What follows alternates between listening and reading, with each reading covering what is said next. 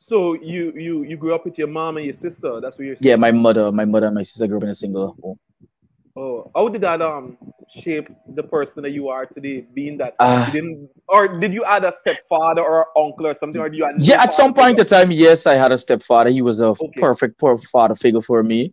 Mm. But at that time, you know, sometimes you want to know you want to know what's it like to be with your biological father and from time to time you'll find like when father's day come around that was one of my challenging moments you know that they got to do something everybody but father father father and father not there probably sometimes you go to some meeting or some school function and persons will ask about father or father anything to do with father mentioning father it literally used to put me in a trigger. different mindset yeah, yeah and trigger certain stuff yeah. so i yes i tend not to focus much on it and literally growing, I accept the fact that a father figure is not there and you need to do some things manually and you just need to drift and move from the fact that he's not there and there's nothing you can do about it.